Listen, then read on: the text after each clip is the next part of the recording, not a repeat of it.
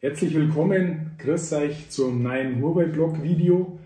Heute mal, ihr habt es im Titel bestimmt schon gesehen, ein bisschen was anderes. Heute geht es nicht nur um Huawei, es geht äh, um ein Gerät, das ähm, auch von Huawei angekündigt worden ist, also eine Art von Gerät. Und ähm, es hat alles ein bisschen mit auch diesen Geräten hier auf dem Tisch zu tun. Alle Geräte brauchen Strom oder geben Strom. Was wir heute uns mal anschauen, ist eine Power Station. Ihr werdet es bestimmt schon gelesen haben, vielleicht bei uns auf dem Blog, vielleicht auf irgendeinem Blog von den Kollegen, Huawei Central zum Beispiel. Ähm, Huawei hat auch eine Power Station rausgebracht bzw. vorgestellt. Aktuell in Deutschland noch nicht verfügbar. Ich hoffe, dass, de, dass sich das bald ändern wird, dass auch ähm, diese Power Station in Deutschland verfügbar sein wird. Ähm, wir schauen uns heute eben eine andere Marke an. Diese Power Station ist äh, von der Firma Bluetti oder Bluetti oder Blue TTI. Ich weiß es nicht, das ist ungefähr so ein Ding wie bei Huawei. Ähm, die coolen Influencer sagen Huawei. Ähm, ja, auch in China sagt man Huawei zu Huawei. Hier in Deutschland hat man sich aber auch ähm, auf den Begriff oder auf die Aussprache Huawei geeinigt. Ähm, wie gesagt, wie es mit Bluetti ausschaut, ich weiß es nicht. Ähm, vielleicht sagt man Blüti, äh, schweizerisch, ganz egal. Ähm, lange Rede, kurzer Sinn. Ich würde sagen, wir oder andersrum, ich würde sagen, das äh, Training der letzten zwei Monate bei mir hat sich bezahlt gemacht, weil ich kann jetzt halt hier und heute ah, das Ding hier dann auspacken. Es ist nicht das leichteste, wie ihr seht, es ist auch ziemlich groß. Ähm, ich würde sagen, fangen wir einfach mal an und packen wir das Ding aus.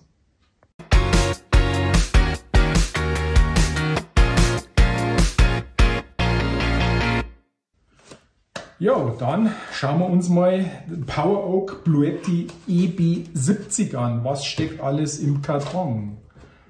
Was Eis.de ist nicht in der Kiste.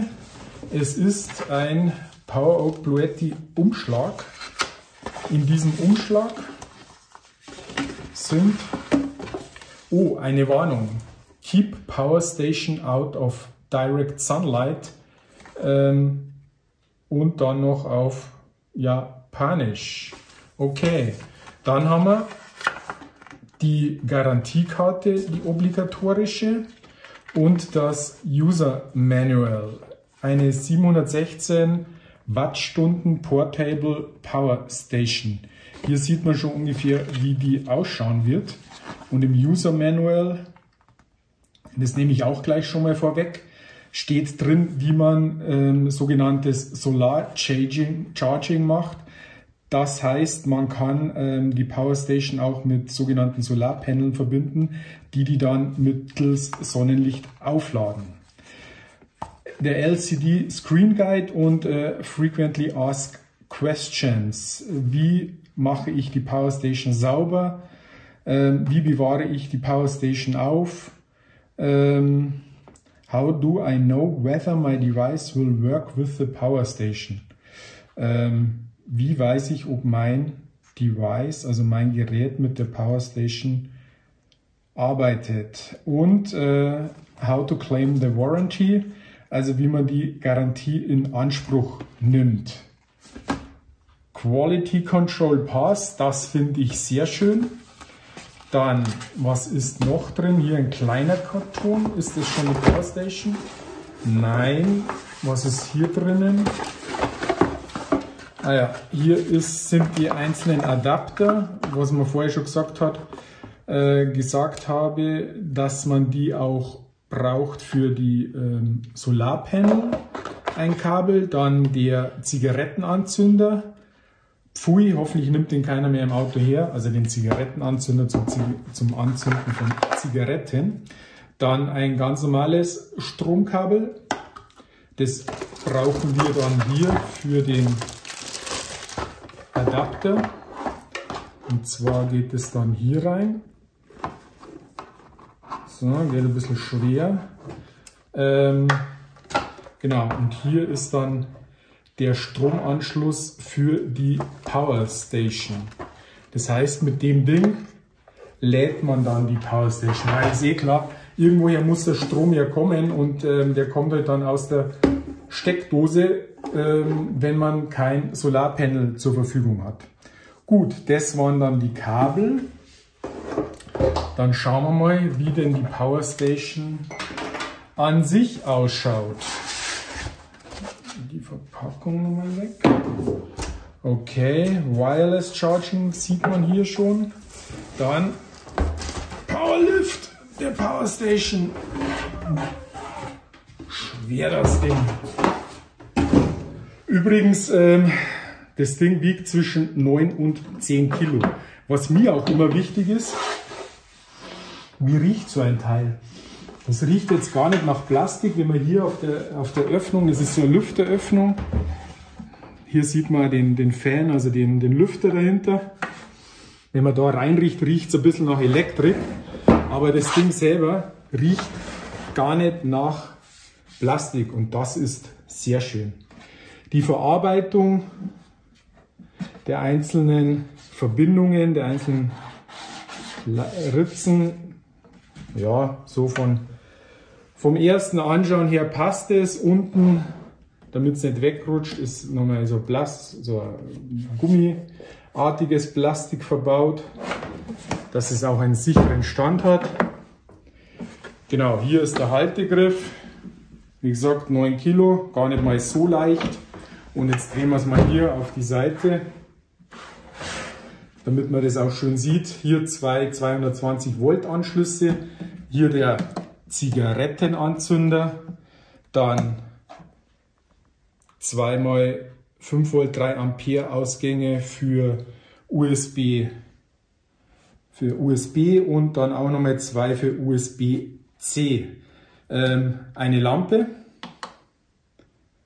an mehr an und blinken. Ihr seht, die blinkt dreimal kurz, eins, zweimal lang, dreimal kurz. Ich habe tatsächlich beim Hersteller nachgefragt, ob das ein SOS-Warnsignal sein soll.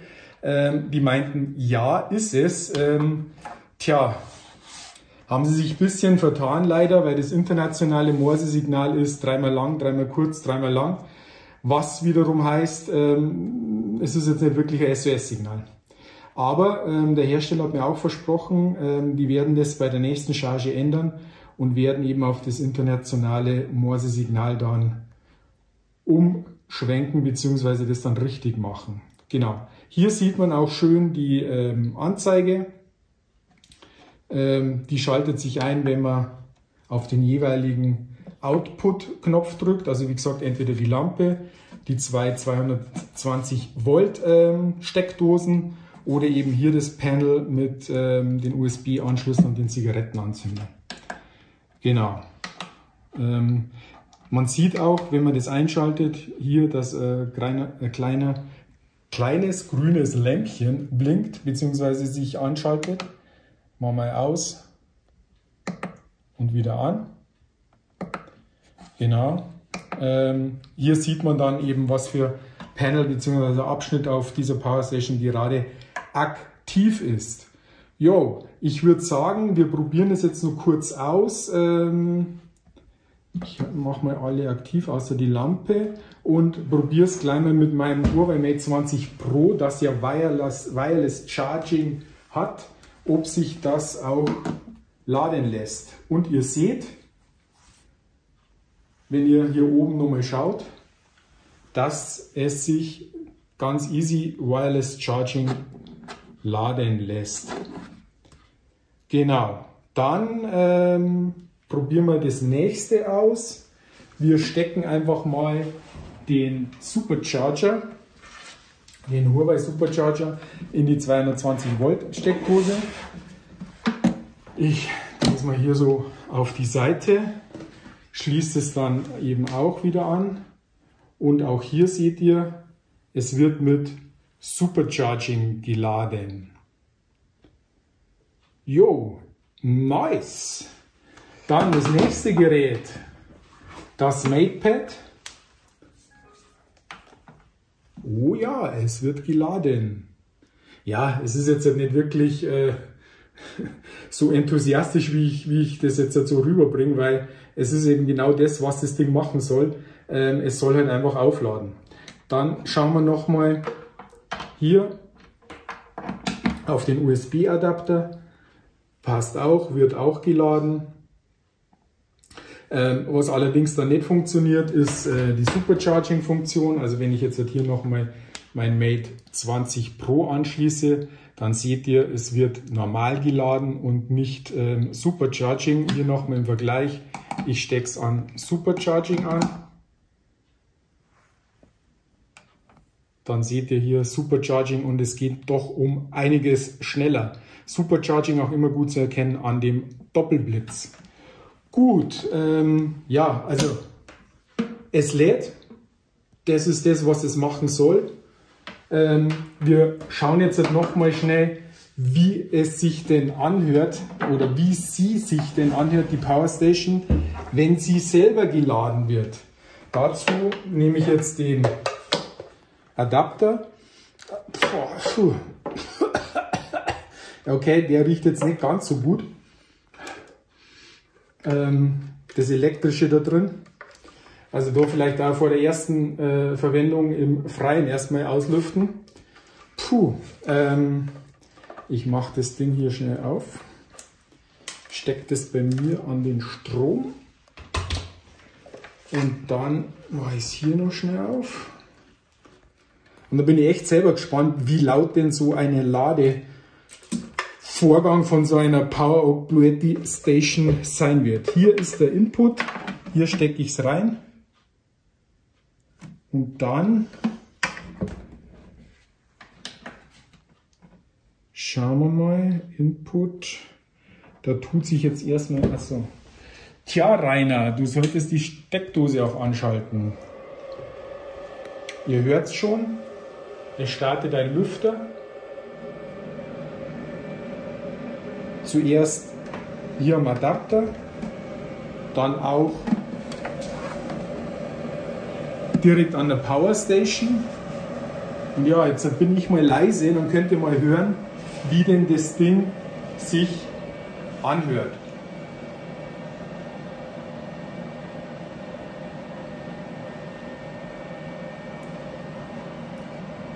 Hier, ups, hier seht ihr auch die Stromaufnahme, also wie viel Watt aufgenommen werden. Aktuell sind es 190 Watt hier, wie lange das dauert. Ich habe jetzt natürlich, äh, also wo, wo wir jetzt nicht wie lange das dauert, sondern äh, wo wir aktuell stehen, ich habe jetzt natürlich nicht ähm, gemessen oder geschaut.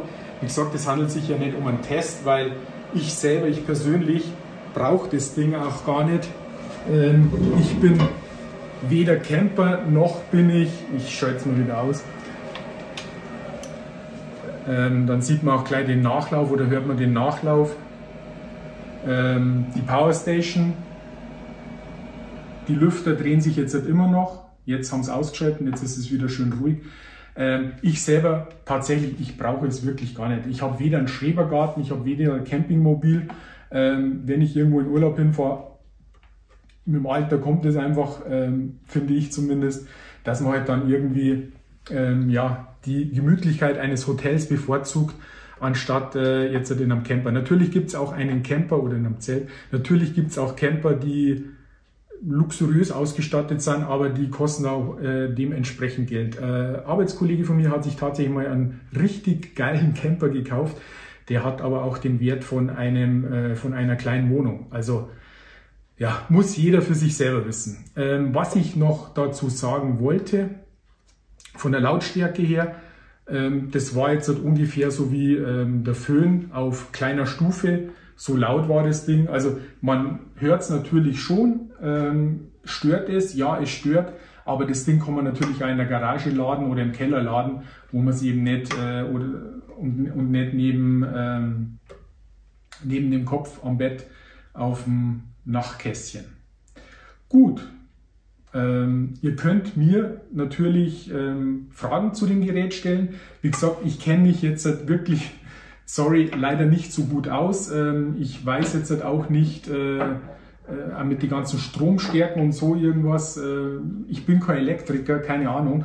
Ich wollte es euch einfach mal vorstellen, einfach nur im Hinblick auf äh, das, dass Huawei eben auch so ein Gerät mal vorstellen wird. Natürlich, das muss man auch sagen, ähm, habe ich jetzt am Anfang vergessen, blende ich aber dann noch ein. Das Gerät ist uns vom Hersteller äh, PowerOut Bluetti zur Verfügung gestellt worden. Also das habe ich mir jetzt nicht selber gekauft, sondern ähm, ich habe mir das dann eben organisiert bei Bluetti und die haben mir das kostenlos zur Verfügung gestellt.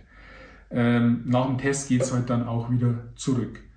Gut, ähm, ich würde sagen, ich erzähle euch jetzt noch mal kurz was über die technischen Spezifikationen des Geräts und ähm, nach den technischen Spezifikationen machen wir einen kleinen Outdoor-Test, nehmen das Ding mit runter und das war die Überraschung, die ich euch am Anfang angekündigt habe. Schauen wir, ob das auch dann so funktioniert, wie ich mir das vorgestellt habe. Okay, also schauen wir uns die technischen Spezifikationen an. Ja, und hier die technischen Spezifikationen der PowerOak Bluetti EB70. Die Batteriekapazität liegt bei 716 Wattstunden. Der Batterietyp ist ein LiFePO 4, ähm, also Lithium ähm, Polymerakku.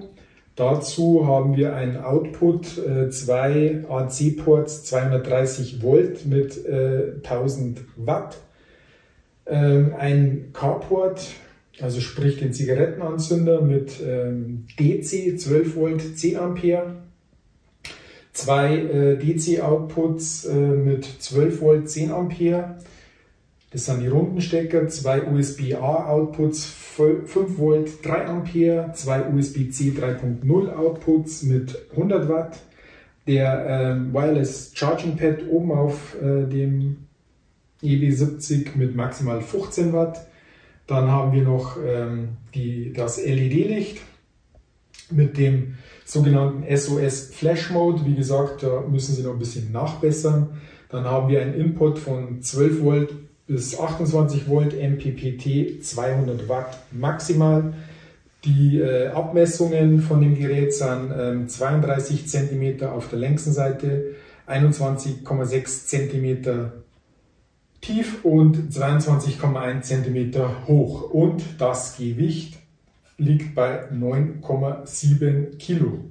Den Preis wollt ihr bestimmt auch noch wissen.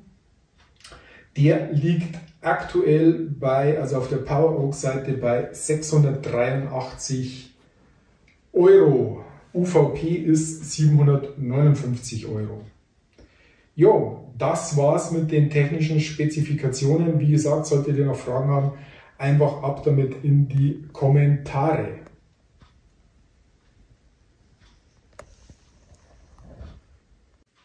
Okay, dann würde ich sagen, ziehen wir unsere Jacken an und starten wir den Outdoor-Versuch. Draußen regnet es, deswegen die Regenjacke ist natürlich eine coole Huawei-Regenjacke. Okay, dann packen wir das Ding und ab dafür.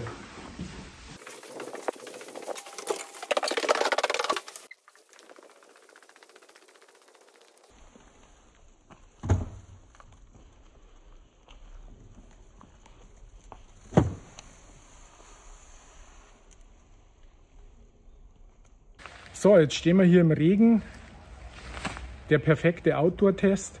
Das Ding ist, äh, hoffe ich zumindest mal wasserdicht. Ich hole jetzt, jetzt schnell mein Kabel und dann probieren wir, ob wir das Elektroauto mit dem Ding laden können. Also, bis gleich.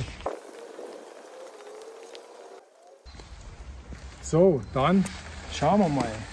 Ab geht die Post.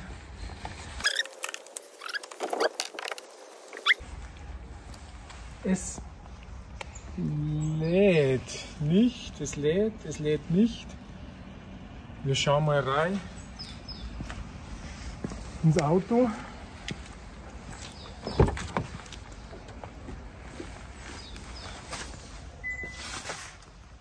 Es lädt. Es lädt nicht. Okay, also das funktioniert noch nicht hundertprozentig. Gut, dann Fazit vom EB70 Bluetti Power Oak Power Station. Ich hätte eigentlich gemeint, dass man das Elektroauto oder mein Elektroauto auch laden kann. Ähm, das hat jetzt nicht ganz so funktioniert, da werde ich mich auch noch mit dem Hersteller in Verbindung setzen. Grundsätzlich funktioniert das Ding. Es ist ähm, ja, entsprechend laut, leise, je nachdem. Ähm, es kostet über 600 Euro. Für mich persönlich wäre es tatsächlich nichts, aber ich denke mal für Camper oder für Schrebergartenbesitzer ist das Ding eine entsprechende Investition.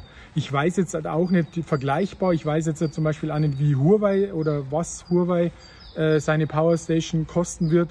Ähm, aber grundsätzlich denke ich, für eine, ja, für eine Outdoor-Verwendung durchaus geeignet.